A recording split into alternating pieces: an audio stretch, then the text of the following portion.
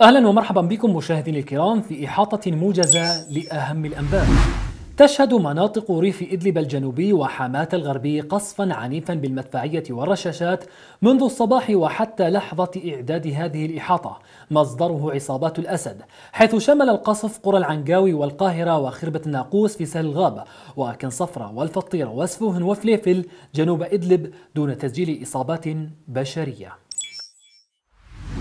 شهدت الليرة التركية انخفاضا جديدا في قيمتها هذا اليوم ليتجاوز سعر صرفها عتبة الثلاث عشرة ليرة أمام الدولار الأمريكي وانعكس ذلك على أسعار المحروقات المستوردة في المناطق المحررة التي شهدت هي الأخرى ارتفاعا في أسعارها هذا اليوم حيث وصل سعر لتر البنزين 11 ليرة و28 قرشا وأسطوانة الغاز ل 157 ليرة.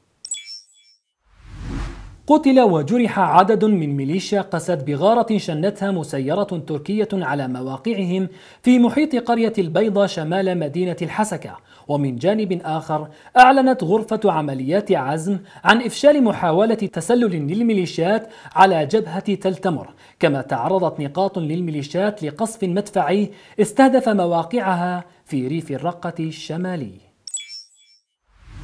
طرد أهالي بلدة المزرعة في ريف السويداء الغربي دوريات للمحتل الروسي وعصابات الأسد بعد وصولهم إلى المدرسة الإعدادية في البلدة لتوزيع مساعدات حسب زعمهم. وفي سياق آخر اعتقلت دورية عسكرية تابعة للعصابات عددا من أصحاب المصالحات والتسويات الجدد في مدينة العشارة شرقية دير الزور.